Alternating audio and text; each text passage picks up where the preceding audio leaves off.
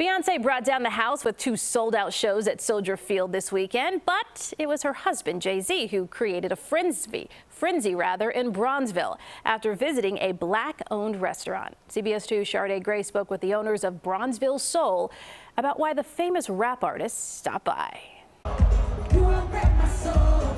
Beyonce wasn't the only one causing a buzz in Chicago. Her well known husband, Jay Z, was at Bronzeville Soul this weekend. Mario Coleman and Angie Price own the business.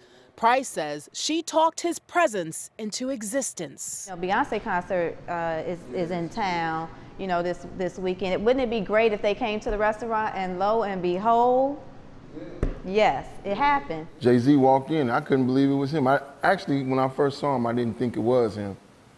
I thought maybe it was someone else uh, acting like Jay Z. But once he specifically asked for short rib and pound cake, kind of messed me up that he had even known to ask for it. And so by him asking for it, it's just like, well, man, you know, uh, excuse me, wow, Jay Z knows about Bronzeville Souls. So out of all of the restaurants in Chicago, why did Jay Z pick Bronzeville Soul? Mario Coleman says Jay Z specifically told him it was word of mouth. His, his actual words to me was, once he saw the, uh, I guess looked us up or whatever, and he saw it was a black business, he did tell me that he wanted to support black business, and he said, that's why I'm here. He said, and they say the food is good. Not only did customers inside get to take pictures with the worldwide known rapper, but Coleman made sure 14 year old Aaliyah Thompson knew he was sitting outside the restaurant. Then it was like Jay Z up in there, but I didn't believe him.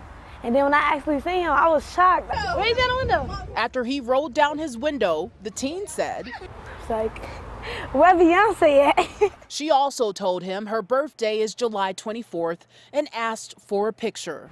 I feel like this, I'll remember this my whole life. Like, I got a picture with Jay Z. Creating a memorable birthday while boosting business.